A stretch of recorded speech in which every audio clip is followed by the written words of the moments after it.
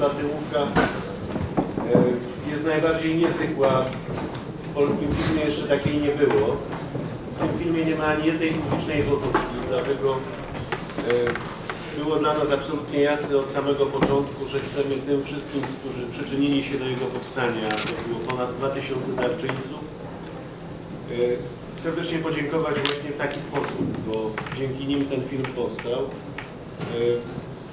Wiadomo, że te pieniądze, które zebraliśmy były na tyle małe, że wymagało to od wszystkich zaangażowanych w ten projekt olbrzymiej pracy, nakładu pracy społecznej i, i zaangażowania. E, Ale to, co Andrzej nam uświadomił, e, wartością dla nas jest to, że film ten powstawał jakby w duchu Witolda Pileckiego. On był społecznikiem, on był bardzo zaangażowany e, w takie działania środowisku, w którym żył, w każdym środowisku, w którym przebywał. I z każdej roli, którą życie mu przypisało, starał się wywiązywać jak najlepiej. E, I jemu się to udawało. Choć nam się nie wszystkim to udaje, to jednak starajmy się również e, iść właśnie tą drogą. E, Przy filmie pracowało około 300 osób. To, były, to byli ludzie z bardzo różnych środowisk. Myśmy nie pytali nikogo skąd jest i jakie ma poglądy. E, Kierowaliśmy się tym, czy chce nam pomóc. I proszę sobie wyobrazić, że w wielu trudnych momentach, kiedy e, groziło nam zatrzymanie prac albo borykaliśmy się z olbrzymimi problemami, e, zawsze gdzieś znajdowali się jacyś ludzie albo jakieś środowisko wręcz całe, które przychodziło nam z pomocą. E, I byli to na przykład studenci i pracownicy Państwowej Wyższej Szkoły Teatralnej w Krakowie. To było dla nas niezwykle ważne.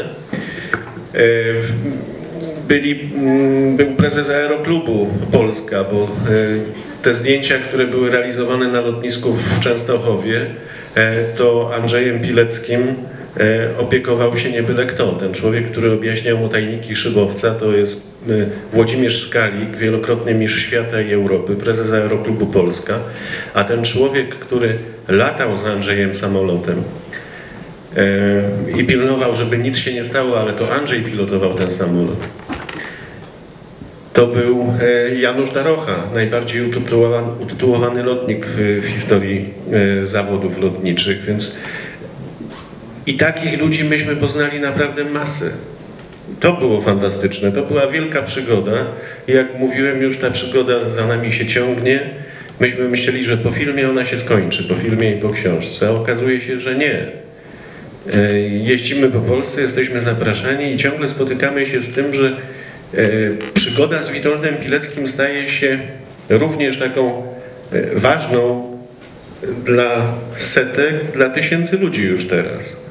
To jest fantastyczne doświadczenie i myślę, że my przy tym Pileckim jeszcze pozostaniemy długo. Jeżeli Państwo będziecie ciekawi, to ja Wam opowiem o niektórych z tych inicjatywach, bo są szokujące i budujące. Natomiast chciałbym Wam oddać głos i mam nadzieję, że skorzystacie z tej okazji, że e, przyszło Wam oglądać ten film w obecności Andrzeja Pileckiego, e, dla którego e, Ostrów Mazowiecka stała się takim drugim domem. Ja może nie będę czekał na Państwa pytania, ale sam zadam pytanie Andrzejowi. Bo wiosną, zimą 1940 roku Maria Pilecka z dziećmi, Andrzejem i Zofią e, musiała opuścić Cukurcze. Życie ocalili być może dzięki temu, e, że ta rodzina tak wrosła w to lokalne środowisko i tak bardzo dobrze się zapisała w pamięci sąsiadów. I ci sąsiedzi właśnie ich ocalili. Andrzeju, może opowiedziałbyś o swojej drodze do Ostrowi już tej okupacyjnej. Połowę, połowę naszej peregrinacji związanych z wojną, związanych y, z okupacjami różnymi, to przypada na Ostrów, bo, bo y, tutaj myśmy znaleźli, znaleźliśmy rodzinę, y, która nam podała rękę i pomagała przez te trudne lata. Mama też tutaj się wykazała wykazała się odwagą, y, potrafiła y, walczyć o, o swoich, y, o brata, o siostrę którzy byli tu gestapo y, więzieni, po- potrafiła bronić y, na Małkińskiej y, domu, który NKWD, NKWD chciało y, zarekwirować, tak jak całą ulicę dla siebie. I mama y, od, od razu wystartowała takim zdaniem, mówi, y, możecie nas, my się stąd nie ruszymy, możecie nas rozstrzelać, bo Niemcy nie zdążyli, Y, ponieważ byli to y, wysoko, y, wysokiej rangi oficerowie i bardzo się tym to poruszyli i odrobiło się takie y, zamieszanie, aż y, dopiero jakiś mądry jeden się znalazł, który pół domu zostawił. No i tu mama to była naprawdę, żeby ktoś napisał kiedykolwiek, bo, naprawdę jest warta tego. A Ostrów. Ostrów oczywiście na najpiękniejsze lata człowiek prawda, ma w pewnym wieku i te przypadały tu właśnie na Ostrów, jeśli chodzi o mm, moją siostrę i o mnie. Y, Tu, tu pierwsze miłości, pierwsze y, spotkanie z harcerstwem, prawdziwym harcerstwem jeszcze, y, bo byli, byli y, instruktorzy byli przedwojenni, tu profesorowie byli przedwojenni, y, gdzie do, tych, do tego momentu, do kiedy tutaj przebywałem, no, naj, najpiękniejsze moje lata. A później, później no już trzeba było walczyć bardziej, bardziej zdecydowanie, y, no bo i się było starszym przede wszystkim. No, i jeśli chodzi o te sprawy ostrowskie, no, tęsknię za Ostrowią, przyjeżdżam co, co roku, zawsze jestem na Peczynkę i y, dobrze, dobrze, że, jest, że się trafiła taka Ostrów.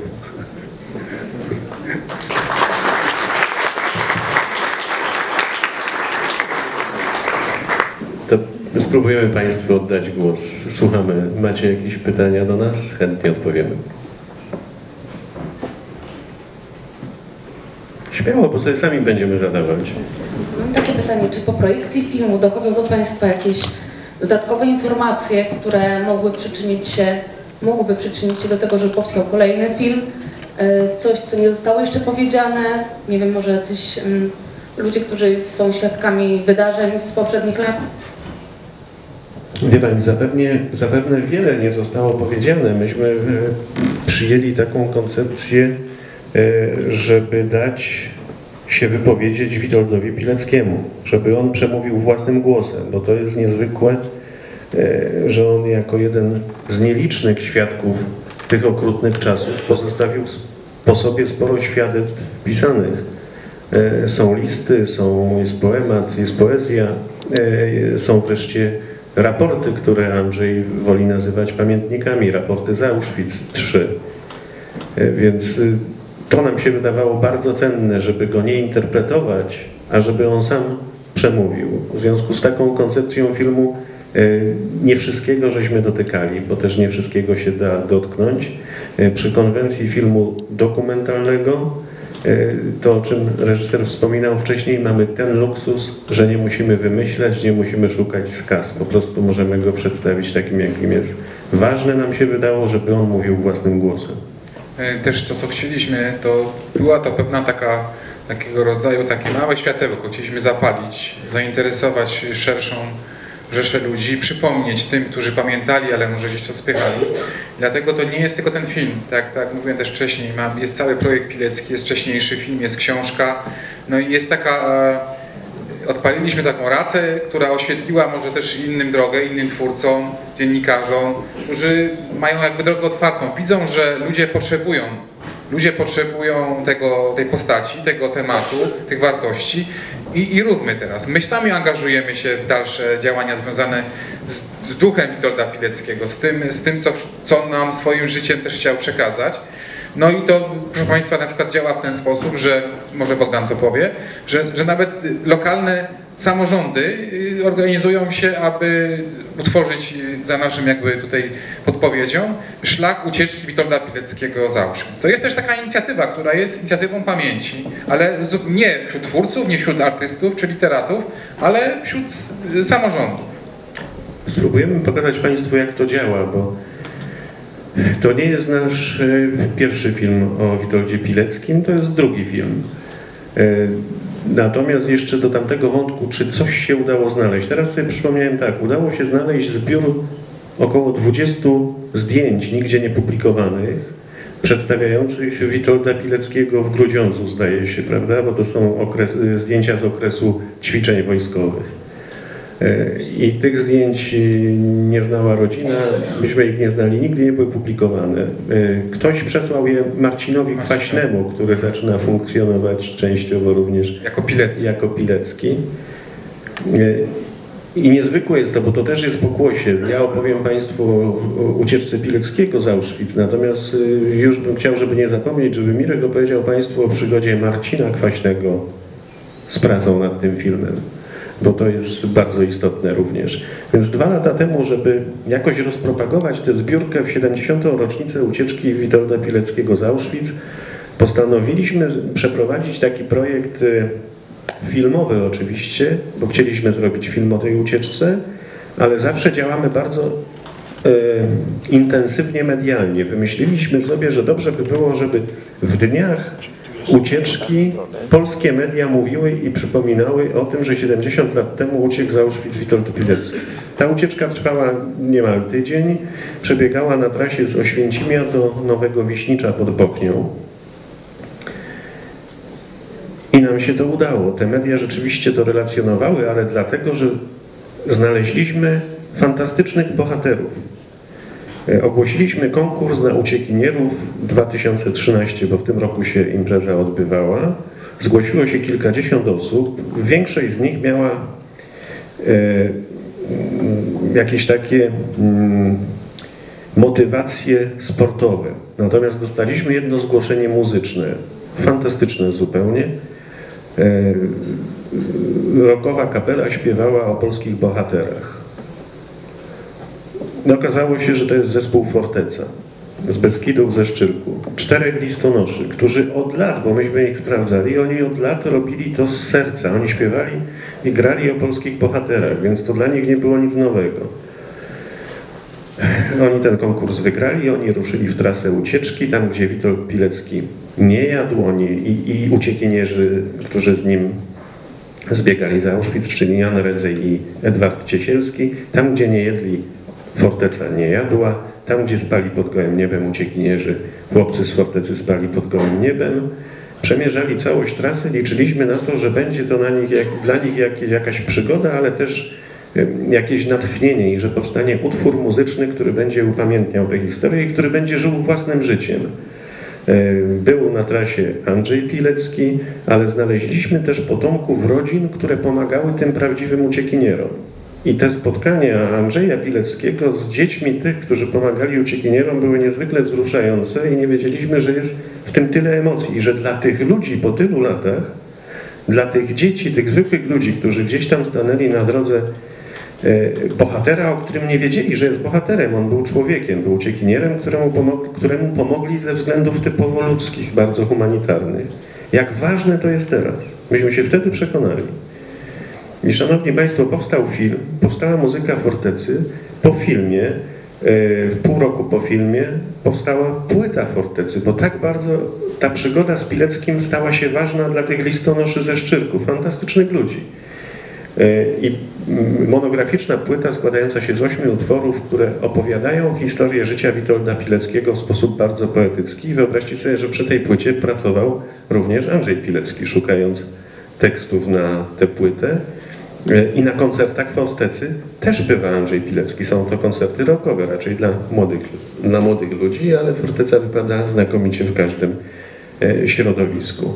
I wydawało nam się, że zamknęliśmy temat ucieczki z Auschwitz. Było to w mediach, jak Forteca już piątego dnia ucieczki, ludzie ich rozpoznawali na trasie, a to wy jesteście ci, którzy uciekają szlakiem Pileckiego, może was podwieziemy, może pójdziecie krótszą drogą, więc to były fantastyczne doświadczenia. Zdjęcia z tego, jak chłopcy z fortecy przekraczali symbolicznie bramę Arbeit macht obiegły światowe agencje. One się ukazały w Japonii, we Włoszech, w Stanach, w Anglii. To było dla nich szokujące, a mnie z kolei pracownicy muzeum pytali, a transmitowały to jeszcze trzy telewizje. Publiczna, Polsat i TVN. Wyjście fortecy z Auschwitz w 70. rocznicę ucieczki Pileckiego.